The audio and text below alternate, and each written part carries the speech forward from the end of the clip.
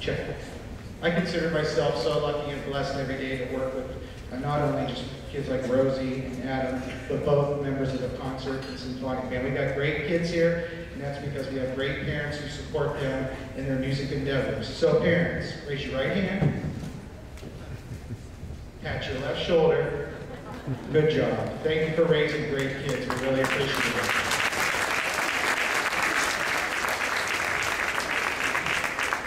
Okay, we're going to take you on a little journey through Latin America now. Uh, Alfred Reed is one of my favorite composers.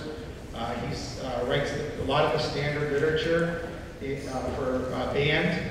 Uh, and this, this little ditty, it's not little at all, but is, is, certainly challenging, not only technically, but musically to pull off. We're going to play three movements of the second suite for band and I inadvertently left off the subtitle, which is called Latino Mexicano.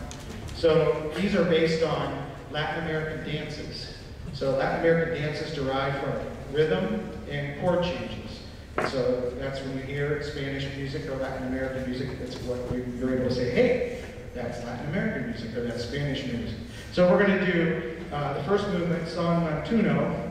You know it better as the Calypso. And then we're going to do a tango, but not a tango that you would see maybe on Dancing with the Stars. That's more of the Argentinian up-tempo tango. This is more of the Brazilian tango. It's very deliberate, very slow, uh, very beautiful. And then we're going to end with the Paso Doble, which is a Mexican two-step, and it's uh, known for uh, bullfight music.